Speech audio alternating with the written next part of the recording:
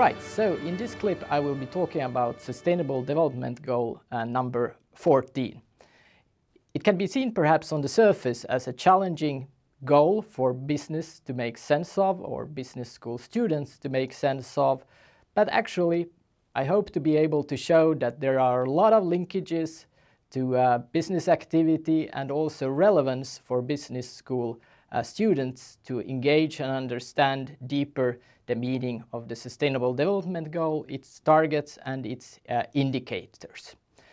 Uh, globally, the um, marine and coastal resources uh, are very important for industry. It has been estimated that $3 trillion, uh, or about 5% of the global GDP, can be traced uh, to mar marine ecosy ecosystems as such.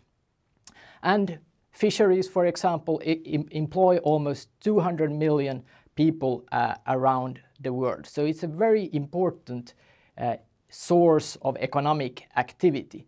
We'll be going through a little bit of what kind of challenges and perhaps also a little bit on what kind of innovative uh, activities we see around the world related uh, to SDG uh, 14.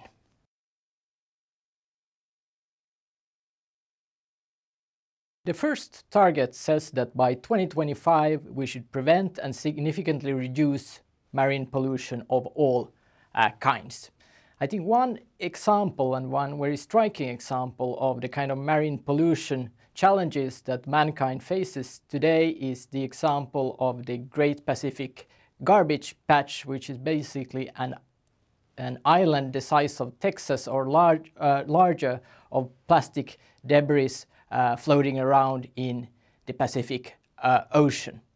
But at the same time as we see these uh, mounting challenges, we also see new innovative approaches in terms of how should we be cleaning up uh, these, these kinds of marine uh, pollution. And a very good example of this is the Dutch initiative Ocean Cleanup Foundation with its founder Boyan Slat, who has been creating an, a very innovative product or, or solution of how to uh, clean up uh, these plastic uh, debris flo floating around in, in, in the sea. And we have attached some material for you uh, to, to look closer at the example of Ocean Cleanup Foundation and, and their solution.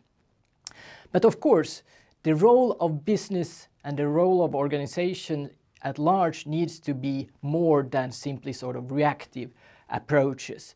The, the challenge for business is really how can we create closed loop systems? How can we create uh, follow up in the supply chain? How can we manage the supply chain to the extent that we cut down on the plastic that, that our production causes either by end use or indeed uh, by all the, the, the, plastic material that we use uh, for packaging all our, our, our product at, at large. So there is immense room for inno innovation and innovative approaches around this. And closed loop systems at large, of course, is, is a concept that is highly talked about in, in research currently and very uh, central, I would say, also in, in a business school uh, to, to understand no matter which subject uh, you, are, you are in.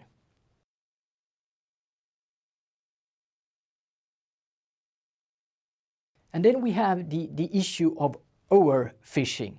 Uh, when industrialization has reached a certain scale, we also start to see new, very effective um, sort of fishing techniques that, that were being implemented.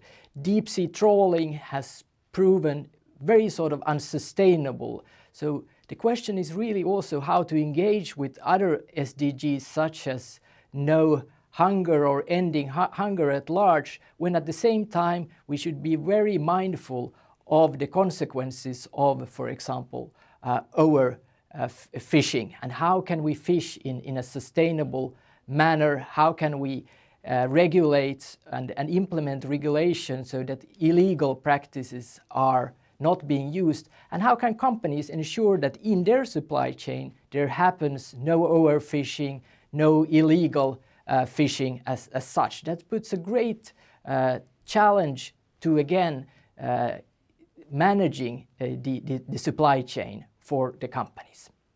Yeah, and one of the examples that we will be using here in, in this video is actually one of the partner organizations or partner companies of, of Hanken School of Economics here in, in Finland, and that is a company called DROPP, and we will be interviewing its uh, founder, Amanda Sundell, who will be talking more about what the relation between DROPP and, and SDG 14 and also innovation at, at large, what, what those are.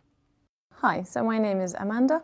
Um, I'm the founder of DROPP. Um, so it's now been three years uh, since DROPP started um, here in Finland. Um, and before that, um, I didn't have any background in entrepreneurship um, or business either. my personal background is I studied social sciences, then I worked with international organizations for a while, and then I decided I wanted to see if I could do something on my own um, to finance other people who are doing really great stuff. Um, so then we started DROPP. Obviously, um, it's sort of saving the Baltic Sea. Uh, so basically supporting efforts uh, for the environmental rehabilitation of the Baltic Sea.